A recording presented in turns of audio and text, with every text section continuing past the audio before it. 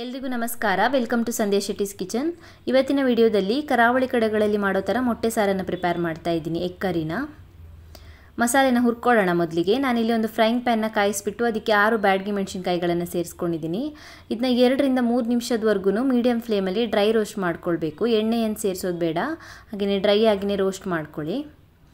ಮೆಣಸಿನ್ಕಾಯಿ ರಿಮೂವ್ ಮಾಡಿದ ನಂತರ ಅದೇ ಪಾತ್ರೆಗೆ ಒಂದು ಚಮಚ ಆಗೋಷ್ಟು ಧನಿಯಾ ಕಾಳು, ಅರ್ಧ ಚಮಚ ಆಗೋಷ್ಟು ಜೀರಿಗೆ, ಅರ್ಧ ಚಮಚ ಆಗೋಷ್ಟು ಕಾಳು ಮೆಣಸು ಮೂರಿಂದ ನಾಲ್ಕು ಚಿಟಿಕೆ ಆಗುವಷ್ಟು ಮೆಂತೆ ಕಾಳು ಹಾಗೆಯೇ ಒಂದು ಚಿಟಿಕೆ ಆಗೋಷ್ಟು ಓಂ ಕಾಳನ್ನು ಸೇರಿಸ್ಕೊಂಡಿದ್ದೀನಿ ಇದು ಕೂಡ, ಇದನ್ನು ಕೂಡ ಎಣ್ಣೆ ಸೇರಿಸ್ತೇನೆ ಎರಡರಿಂದ ಮೂರು ನಿಮಿಷದವರೆಗೂ ಡ್ರೈ ರೋಸ್ಟ್ ಮಾಡ್ಕೊಳ್ಬೇಕು. ಡ್ರೈ ಆಗಿನೇ ಫ್ರೈ ಮಾಡ್ಕೊಳ್ಬೇಕು. ಫ್ರೈ ಆಗಿದೆ ಇದು ರಿಮೂವ್ ಮಾಡ್ಕೊಳ್ಳೋಣ. ಫ್ರೈ ಮಾಡಿರುವಂಥ ಮಸಾಲೆ ಐಟಮ್ಸ್ನ ಒಂದು ಮಿಕ್ಸಿ ಜಾರಿಗೆ ಸೇರಿಸ್ಕೊಂಡಿದ್ದೀನಿ ಪೂರ್ತಿಯಾಗಿ ತಣ್ಣದ ಮೇಲೆ. ಇವಾಗ ಇದಕ್ಕೆ ಚಿಕ್ಕ ಪ್ಲೇಟಲ್ಲಿ ಒಂದು ಪ್ಲೇಟ್ ಆಗೋಷ್ಟು ತೆಂಗಿನಕಾಯಿ ತುರಿನ ಸೇರಿಸ್ಕೊಳ್ತಾ ಇದ್ದೀನಿ. ಸಣ್ಣ ತೆಂಗಿನಕಾಯಲ್ಲಿ ಅರ್ಧ ತೆಂಗಿನಕಾಯಿನ ಯೂಸ್ ಮಾಡಿದ್ದೀನಿ.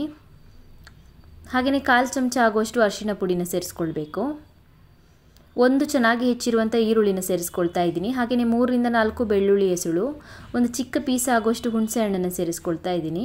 ಹಾಗೆಯೇ ಒಂದು ಲೋಟ ಆಗೋಷ್ಟು ನೀರನ್ನು ಸೇರಿಸ್ಬಿಟ್ಟು ನೈಸಾಗಿ ಗ್ರೈಂಡ್ ಮಾಡ್ಕೊಳ್ಬೇಕು ಮಸಾಲೆನ. ಮಸಾಲೆ ರುಬ್ಬಿ ಆಗಿದೆ. ರುಬ್ಬಿರುವಂಥ ಮಸಾಲೆನ ಇನ್ನೊಂದು ಪಾತ್ರೆಗೆ ಟ್ರಾನ್ಸ್ಫರ್ ಮಾಡ್ಕೊಳ್ಳಿದ್ದೀನಿ ಮಾಡ್ಕೊಂಡಿದ್ದೀನಿ ಇವಾಗ ಇದಕ್ಕೆ ನೀರನ್ನು ಸೇರಿಸ್ಕೊಳ್ತಾ ಇದ್ದೀನಿ ಹದ ನೋಡಿಬಿಟ್ಟು ನೀರನ್ನು ಸೇರಿಸ್ಕೊಳ್ಳಿ. ಜಾಸ್ತಿ ತೆಳುವಾಗಬಾರ್ದು. ಸ್ವಲ್ಪ ದಪ್ಪನೇ ಇರಲಿ. ನಾನೊಂದು ಮೂರಿಂದ ನಾಲ್ಕು ಲೋಟ ಆಗೋಷ್ಟು ನೀರನ್ನು ಸೇರಿಸ್ಕೊಳ್ತಾ ಇದ್ದೀನಿ ಚೆನ್ನಾಗಿ ಮಿಕ್ಸ್ ಮಾಡ್ಕೊಳ್ಬೇಕು ನೀರನ್ನು ಸೇರಿಸ್ಬಿಟ್ಟು. ಈ ರೀತಿ ಇಷ್ಟು ತಿಕ್ಕಾಗಿ ಬರಬೇಕು. ಇವಾಗ ಇದಕ್ಕೆ ಒಂದು ಚೆನ್ನಾಗಿ ಹೆಚ್ಚಿರುವಂಥ ಟೊಮ್ಯಾಟೊನ ಸೇರಿಸ್ಕೊಂಡಿದ್ದೀನಿ. ಹಾಗೆಯೇ ರುಚಿಗೆ ತಕ್ಕಷ್ಟು ಉಪ್ಪನ್ನು ಸೇರಿಸ್ಕೊಳ್ಬೇಕು. ಮಸಾಲೆಗೆ ಎಷ್ಟು ಉಪ್ಪು ಬೇಕಾಗುತ್ತೋ ಅಷ್ಟು ಉಪ್ಪನ್ನು ಸೇರಿಸ್ಕೊಂಡಿದ್ದೀನಿ. ಚೆನ್ನಾಗಿ ಮಿಕ್ಸ್ ಮಾಡ್ಕೊಳ್ಳಿ ಮತ್ತೆ. ಮಿಕ್ಸ್ ಮಾಡ್ಕೊಂಡ ನಂತರ ಹದಿನೈದು ನಿಮಿಷದವರೆಗೂ ಚೆನ್ನಾಗಿ ಕುದಿಸ್ಕೊಳ್ಬೇಕು ಮಸಾಲೆನ. ಹದಿನೈದು ನಿಮಿಷ ಚೆನ್ನಾಗಿ ಕುದಿಸ್ಕೊಂಡಿದ್ದೀನಿ ಮಸಾಲೆ. ಮಸಾಲೆ ಚೆನ್ನಾಗಿ ಕುದ್ದು ಬೆಂದಿದೆ ಚೆನ್ನಾಗಿ ಮಸಾಲೆ.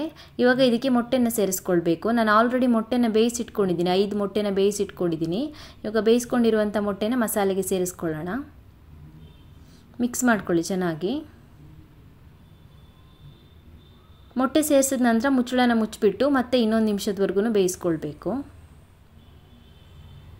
ಸೊ ಇನ್ನೊಂದು ನಿಮಿಷ ಬೇಯಿಸ್ಕೊಂಡಿದ್ದೀನಿ, ಮೊಟ್ಟೆ ಸೇರಿಸಿದ ಮೇಲೆ. ರೆಡಿ ಆಗಿದ್ದೀವಿ ಇವಾಗ ಸರ್ವ್ ಮಾಡೋದಕ್ಕೆ. ಮಾಡೋದು ತುಂಬಾ ಸುಲಭ ಇದು. ರುಚಿ ತುಂಬಾ ಚೆನ್ನಾಗಿ ಬರುತ್ತೆ. ನೀವು ಕೂಡ ಟ್ರೈ ಮಾಡಿ ನೋಡಿ. ರೆಡಿಯಾಗಿದೆ ಇವಾಗ. ಕರಾವಳಿ ಕಡೆಗಳಲ್ಲಿ ಮಾಡೋ ಥರ ಮೊಟ್ಟೆ ಸಾರು ಇವಾಗ ಸರ್ವ್ ಮಾಡೋದಕ್ಕೆ ತಯಾರಾಗಿದೆ. ತುಂಬಾ ರುಚಿಯಾಗಿ ಬರುತ್ತೆ. ಟ್ರೈ ಮಾಡಿ ನೋಡಿ. Thank you for watching my video ನಿಮಗೆ ಈ ವಿಡಿಯೋ ಇಷ್ಟವಾಗಿದ್ದರೆ ವಿಡಿಯೋಗೊಂದು ಲೈಕ್ ಕೊಡಿ. ಹಾಗೆಯೇ ಕಮೆಂಟಲ್ಲಿ ತಿಳಿಸಿ ಹೇಗಿದೆ ಅಂತ. ನೀವು ನನ್ನ ಚಾನಲ್ಗೆ ಇನ್ನೂ ಸಬ್ಸ್ಕ್ರೈಬ್ ಮಾಡಿಲ್ಲ ಅಂದರೆ ಇವಾಗಲೇ ಸಬ್ಸ್ಕ್ರೈಬ್ ಮಾಡ್ಕೊಳ್ಳೋದನ್ನು ಮರಿಬೇಡಿ.